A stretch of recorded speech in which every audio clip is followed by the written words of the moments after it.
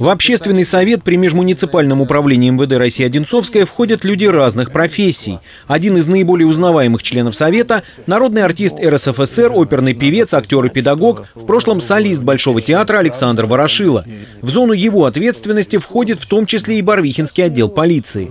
Он нередко бывает здесь с инспекциями. На этот раз Александра Степановича встречает начальник подразделения Игорь Хохлов.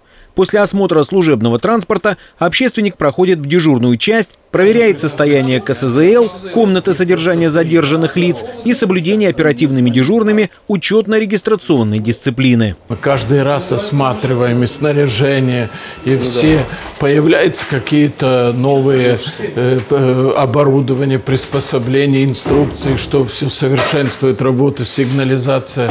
Я считаю, что не, используя внутренние резервы. Барвихинское отделение растет. Всю необходимую помощь отделу оказывают и местные власти.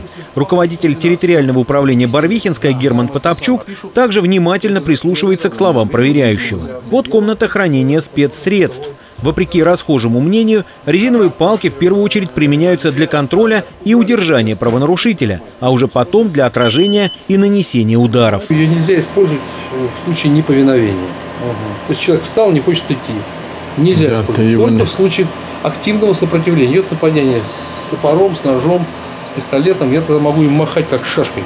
Также в ходе проверки Александр Ворошила оценил условия работы личного состава и пообщался с участковыми уполномоченными.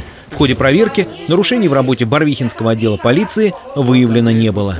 Петр Горохов, Артем Ломоносов, телекомпания «Одинцова».